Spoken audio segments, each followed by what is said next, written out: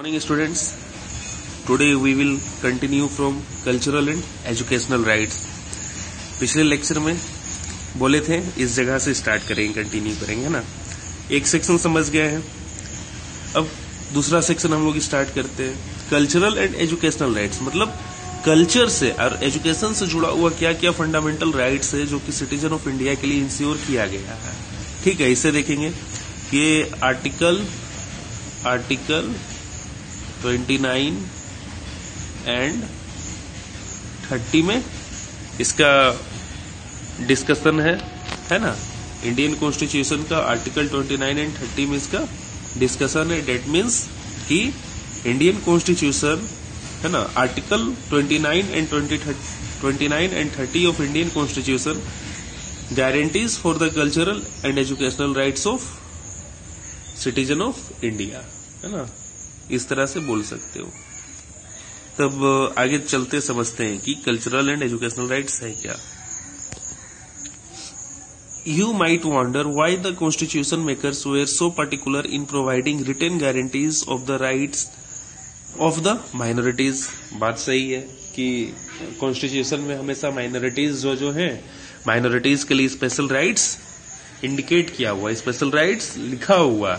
लेकिन मेजोरिटी के लिए ऐसा राइट्स लिखा हुआ नहीं है। ठीक है? तो बस अंतर इतना है ना कि माइनॉरिटीज के लिए जो राइट्स लिखा हुआ ना, वो सिंपली माइनॉरिटीज लिखकर ही लिखा हुआ। और मेजोरिटी का जो राइट्स है, उसे लिख कर नहीं दिया गया। लेकिन इनफैक्ट जो पूरा ये पावर एक्सरसाइज करते हैं, वो मेजोरिटी ही करते हैं। कैसे करते हैं? आगे समझते हैं। है ना? देखिए आगे। Why are there no special guarantees for the majority well for this simple reason that the working of democracy gives power to the majority. Simply क्या है? सिंपल रीजन इसका क्या है? बहुत ही सिंपल रीजन है कि वर्किंग ऑफ़ डेमोक्रेसी ठीक है, प्रजातंत्र जो अपना कार्य कर रही है, ठीक है, प्रजातंत्र जो एक सिस्टम है, ये खुद मेजोरिटी को राइट्स दे रखा है। क्यों? क्योंकि डेमोक्रेसी कब वर्क करता है? जब आपका पास मेजोरिटी सपोर्ट हो, है ना? तो ऑलरेडी मेजोरिटीज के लिए पावर दे रखा, है ना? वही लिखा democracy gives power to the majority ठीक है? It is the language culture and religion of minorities that needs special protection क्या क्या? इट इज़ द लैंग्वेज ठीक है? Language culture and religion of minorities that needs special protection language culture और जो religion है minorities का, उसे special protection चाहिए। ठीक है? तो लैंग्वेज और कल्चर को स्पेशल प्रोटेक्शन क्यों चाहिए? ठीक है? इसका रीजन हम लोग जानेंगे। आगे देखते हैं, अगर बुक पर लिखा हुआ हो तो ठीक है। नहीं तो एक्स्ट्रा नॉलेज के तौर पे बताएँगे। ठीक है? Otherwise they may get neglected और undermined under the impact of the language, religion, culture of the majority. ठीक है? अगर माइनॉरिटीज का लैंग्वेज कल्चर एंड रिलीजन को स्पेशली प्रोटेक्ट ना करें, ठीक है? स्पेशली प्रोटेक्ट ना करें तो याद होगा कि इस चैप्टर का स्टार्टिंग में तीन केस स्टडीज़ पढ़े थे जिसमें कि एक कोसवो का था। है ना? कोसवो में अल्बेनिया वाला। तो याद है ना क्या हुआ था? लार्ज स्केल मैसेकर ठीक है?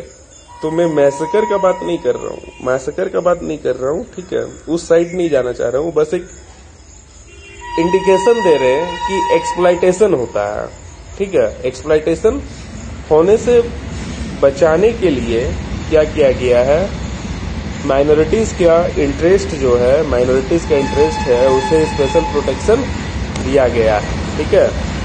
ये अपना कॉन्स्टिट्यूशन का मूल आधार है। ठीक है? माइनॉरिटीज को लेके। ठीक है? That is why the constitution specifies the cultural and educational rights of the minorities और इसलिए, ठीक है कॉन्स्टिट्यूशन जो है, वो स्पेसिफाई करता है specially cultural and educational rights of minorities पे ध्यान देता। है तो इसका पहला पॉइंट देखते इस राइट्स के अंतर्गत ये पहला point any section of citizen, citizens with a distinct language. Distinct language means अलग लैंग्वेज अपना, है ना? डिस्टिंक्ट लैंग्वेज और culture have a right to conserve it ठीक है? उनका जो स्पेशल लैंग्वेज और कल्चर है, ठीक है, उसे कंजर्व करने का उन्हें अधिकार है, बचाने का।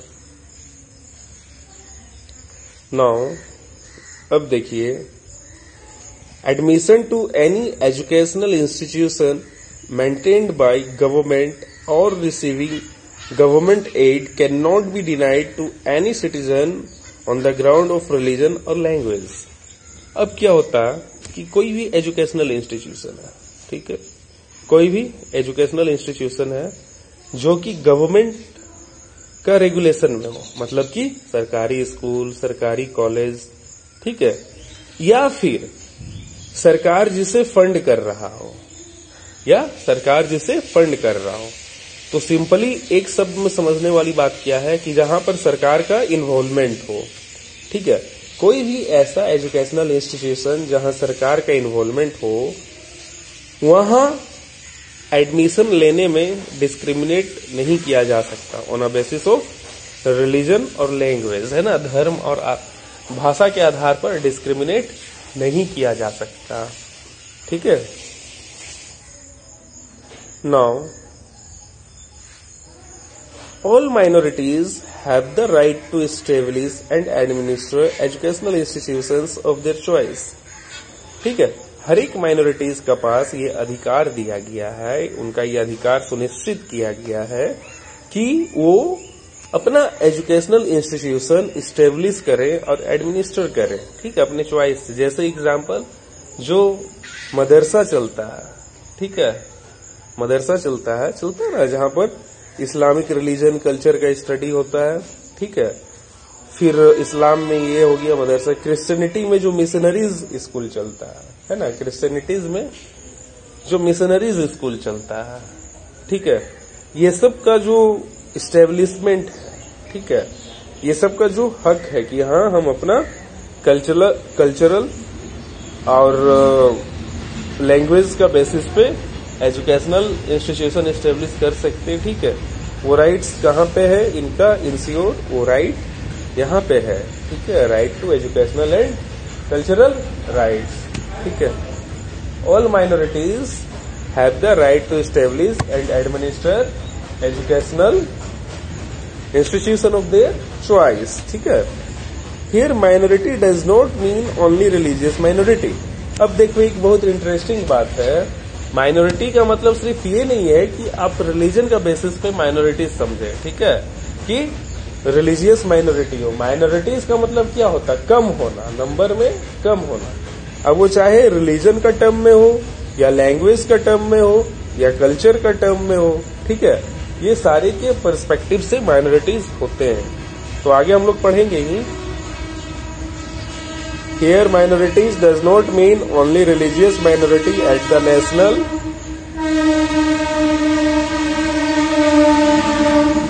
at the national level है ना in some places people speak, speaking a particular language are in majority in some places people speaking a particular language are in majority ठीक है उस जगह पर क्या होता है पीपल जो, वहाँ का जो पीपल है, ठीक है लैंग्वेज जो बोल रहे हैं तो उसके संदर्भ में वो मेजोरिटी में जैसे मान लो कि एक टेरिटरी है, ठीक है, यहाँ पे भोजपुरी स्पीकिंग पीपल बहुत सारे हैं, ठीक है, भोजपुरी स्पीकिंग पीपल बहुत सारे हैं।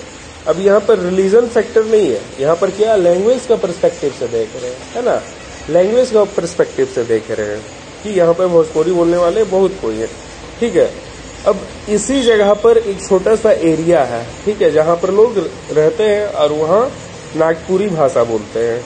क्या? नागपुरी भाषा बोलते हैं। तो तुम क्या बोलोगे? कि they are minorities on a basis of language है ना? तो ये नागपुरी वाले क्या बन जाएँगे? माइनॉरिटी बन जाएँगे। They are minority on a basis of language है ना? And Bhojpuri Bhojpuri speaking peoples are majority in term of language है ना? इस तरह से संदर्भ चेंज हो जाएगा। अगर रिलीजन का बेसिस पे बात करेंगे तो रिलीजियस माइनॉरिटीज लैंग्वेज के संदर्भ में बात करेंगे तो लिंग्विस्टिक माइनॉरिटीज कल्चर के संदर्भ में बात करेंगे तो कल्चरलिस्ट माइनॉरिटी है ना? इस तरह से। चलो आगे देखते हैं। People speaking a different language are in a minority for example Telugu speaking people form a majority in Andhra Pradesh but they are in minority in the neighbouring state of Karnataka ठीक है? Telugu people speaking जो है, वो minorities में है, ठीक है? आंध्र प्रदेश में. बट अगर वो कर्नाटक में चले जाए तो कर्नाटक में वो माइनॉरिटीज में आ जाएँगे. ठीक है? But they are minorities in the neighbouring state है ना? ठीक है? तो ये एग्ज़ाम्पल देख लिए, है ना? फिर आगे देखो, अब क्या लिखता है? But they are in a minority in the neighbouring state of Karnataka Sikhs constitute a majority in Punjab Sikh जो लोग हैं, ठीक है Sikhs constitute a majority in Punjab but they are a minority in Rajasthan Haryana and Delhi ठीक है? तो इस तरह से ये रिलेटिव टर्म है रिलेटिव कंसेप्ट है ना? जिसका अंडरस्टैंडिंग चेंज होता रहता है है ना? जिसका अंडरस्टैंडिंग चेंज होता रहता है। ठीक है? रियल टाइम स्पेस पे ये डिपेंड करता है कि आप किस चीज़ को किस संदर्भ में बात कर रहे हैं। ठीक है? इस तरह से। यहाँ पर check your progress read the news paper report identify the rights date is being divided in each of these cases an emergency session of the Shiromani Gurdwara Prabandhak committee rejected the proposal to form a separate body to manage the affair of Sikhs shrines in Haryana ये सब case studies का basis पे, ठीक है? ये सब चीज़ को पढ़ना रिसर्च करना बहुत मज़ा आएगा, ठीक है? बहुत सारा चीज़ जानने को मिलेगा, ठीक है? चलो, आगे अब देख वो राइट खत्म हो गया अब, है ना? कल्चरल एंड एजुकेशनल राइट समझ गए, उसमें दो ही आर्टिकल था ट्वेंटी नाइन एंड थर्टी तो वो कंप्लीट हो गया। ठीक है? अब हम लोग बात करते हैं कुछ कॉमन बात। ठीक है? अपना राइट से रिलेटेड जैसे कि how can we secure these rights अब बात आता है कि इतना सारा राइट्स तो फंडामेंटल राइट्स के अंतर्गत हम लोगों को दिया गया है। ठीक है? Our constitution has ensured these all rights under the heading of fundamental rights for the citizen of India. Now the matter is that how can we enjoy these rights? है ना हम लोग इस राइट्स को कैसे एंजॉय कर सकते हैं ठीक है हाउ तो अब बात यहाँ पे आती है कैसे कर सकते हैं तो आगे पढ़ते हैं कैसे कर सकते हैं देखो आगे क्या है if rights are like guarantees they are of no use if there is no one to honour them ठीक है? चलिए, बढ़िया बात है। गारंटी तो किया गया है। ठीक है? लेकिन अगर मान लीजिए उसका ऑनर कोई ना करे तो फिर वैसा गारंटी का कोई इज़्ज़त नहीं। ठीक है? The fundamental rights in the constitution are important because they are enforceable ठीक है? The fundamental rights in the constitution are important because they are enforceable तो यहाँ पे ये टर्म को थोड़ा सा हम ज़्यादा डेप्थ में जाना चाहेंगे, क्योंकि यहाँ पे ये टर्म थोड़ा सा समझो। दे आर इनफोर्सेबल इसका मतलब क्या है? ठीक है? देखो राइट दो तरह का होता है। एक इनफोर्सेबल और एक सिंपल ठीक है? मतलब एक जस्टिसिएबल और एक नॉन जस्टिसिएबल ठीक है? जस्टिसिएबल राइट्स डेट मीन्स कि आपको वो इंश्योर करना ही करना है। आपको वो मिलेगा ही मिलेगा। ठीक है? और जो राइट्स लिखा हुआ है बट वो आपको मिलेगा, नहीं मिलेगा, वो कंटेम्प्रोरी इशू है। ठीक है? कंटेम्प्रोरी इशू है। ठीक है? बट कुछ राइट्स जो है, आप जन्म लिए भारत के धरती पे, उसी दिन से वो राइट्स आप पे लग गया। मतलब कि वो राइट्स उसी दिन से आपका हक बन गया। वैसा राइट्स को बोलते हैं इन्फोर्सेबल जो कि फंडामेंटल राइट्स है। ठीक है? फंडामेंटल राइट्स जो जस्टिसिएबल है और इन्फोर्सेबल है। तभी ना फंडामेंटल राइट्स आपका मौलिक अधिकार है। बोलते हैं ना, मेरा मौलिक अधिकार है मतलब कि ये मेरा एकदम बेसिक राइट्स है। ठीक है?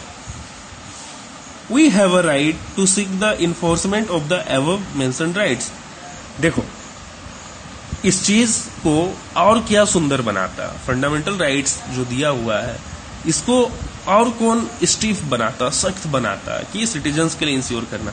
अगर वो राइट्स आपका वायलेट होता है ना तो आपके पास राइट है। अगर वो राइट वायलेट होता है तो आपके पास राइट है कि आप उस राइट्स को इंजॉय कर सके। बात समझे? अगर आपसे कोई आपका वो सब हक छीनता है ना तो आपका पास हक है कि आप अपना हक का लड़ाई कॉन्स्टिट्यूशनली कर सके, है ना? तो वो क्या है? उसको क्या बोलते हैं? This is called the right to constitutional remedies क्या बोलते हैं? ये लाइन बहुत इंपॉर्टेंट है राइट टू कॉन्स्टिट्यूशनल रेमेडीज ये आर्टिकल 32 में आता है है ना? राइट टू कॉन्स्टिट्यूशनल रेमेडीज चलो, अब इसके अंदर क्या है ये पढ़ते हैं? और ये बहुत इंपॉर्टेंट है, ठीक है? क्योंकि सारा फंडामेंटल राइट्स ये इंश्योर करता है। अगर आपका कोई फंडामेंटल राइट्स वायलेट होता है तो आप इस राइट्स के थ्रू वो फंडामेंटल राइट्स अपना मांग सकते हैं। This itself is a fundamental rights ये खुद फंडामेंटल राइट्स में दिया हुआ। This right makes other rights effective ये राइट्स क्या करता? अदर राइट्स को इफ़ेक्टिव बनाता। ठीक है? This right makes other rights effective it is possible that sometimes our rights may be violated by fellow citizens perhaps होता है ना कभी कभी कि आपका राइट्स वायलेट हो रहा ठीक है, आप देश के जो सिटीजन है फेलो सिटीजन प्राइवेट बॉडीज और बाय द गवर्नमेंट इतना परस्पेक्टिव में आपका राइट्स वायलेट हो सकता है, ठीक है। मान लो हम आपका फंडामेंटल राइट्स वायलेट कर रहे हैं, मान लो कोई प्राइवेट बॉडीज है, वो वायलेट कर रहा है, मान लो या सरकार है, वो वायलेट कर रही है। तो आप अपना फंडामेंटल राइट्स मांग सकते हैं अंडर दिस राइट्स है ना? चलिए, आगे देखते हैं। When any of our rights are violated we can seek remedy through courts if it is a fundamental right we can directly approach the supreme court और the high court of state ठीक है? देखो, अंतर क्या है? Rights तो अगर आपका हनन हो रहा तब तो आप कोर्ट जाइएगा ही जाइएगा। ठीक है वही जस्टिस करेगा। बट अगर आपका फंडामेंटल राइट्स हनन हो रहा ना अगर आपका फंडामेंटल राइट्स वायलेट हो रहा तो आप डायरेक्टली कहा जा सकते हैं? सुप्रीम कोर्ट ऐसे आप डायरेक्टली सुप्रीम कोर्ट नहीं जा सकते अब मान लीजिए हम आपको आ, हम नहीं यार हम टीचर हैं तुम्हारे हम तो पीट ही सकते हैं। मान लो बगल वाला कुछ विवाद खड़ा कर दिया। ठीक है? तब उसका निपटारा कहाँ होगा? कोर्ट में होगा। बट आप सुप्रीम कोर्ट नहीं जा सकते हो डायरेक्ट ठीक है? लेकिन अगर आपका फंडामेंटल राइट्स हनन हो रहा, ठीक है तो आप डायरेक्ट सुप्रीम कोर्ट या हाई कोर्ट जा सकते हैं, ठीक है? क्योंकि अगर आप कोई सिंपल केस को लेके कोर्ट में जाते हैं तो आपको निचला स्तर से स्टार्ट करना पड़ेगा। District court session district court में भी होता है सेशन कोर्ट सिविल कोर्ट है ना? इस तरह से करके आगे जाना पड़ता है।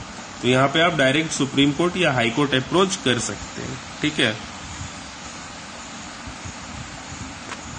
That is why doctor Ambedkar called the right to constitutional remedies that is why doctor Ambedkar called the right to constitutional remedies किया? The heart and soul of our constitution ये बहुत इंपॉर्टेंट है, बहुत सारा कॉम्पिटेटिव एग्ज़ाम में ये सब पूछता है। कि who called the Indian constitution the heart and soul तो doctor Ambedkar called the right to constitutional remedies the heart and soul फिर इस तरह से भी क्वेश्चन बनेगा which rights is also known as the heart and soul of our constitution तो constitutional remedies is known as heart and soul of our constitution ठीक है? इस तरह से। फिर आगे देखो क्या। Fundamental rights are guaranteed against the action of the legislature, the executive and any other authorities instituted by the government. ऐसा करो इस पैराग्राफ को रहने दो क्योंकि वहाँ से दूसरा सीरीज़ स्टार्ट होगा। ठीक है? आज का लेक्चर यहीं पर रखो कंप्लीट इस जगह पे। ठीक है? इतना दूर तक आप लोग ढंग से पढ़ोगे सारा रिवाइज करोगे आर्टिकल वाइज लिख लोगे सारा चीज़ आर्टिकल वाइज सारा चीज़ लिखोगे आर्टिकल 14 से, ठीक है आर्टिकल वाइज लिखोगे और उसके बाद अच्छा से नोट्स बनाओगे, ठीक है।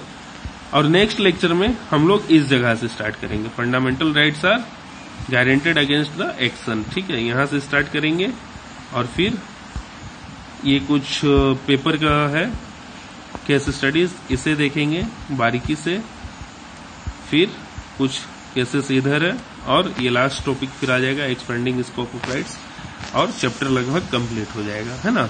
तो अभी तीन चार लेक्चर और चलेगा अभी इस पर है ना? लेकिन सारा राइट्स अच्छा से समझो, ठीक है? Okay bye thank you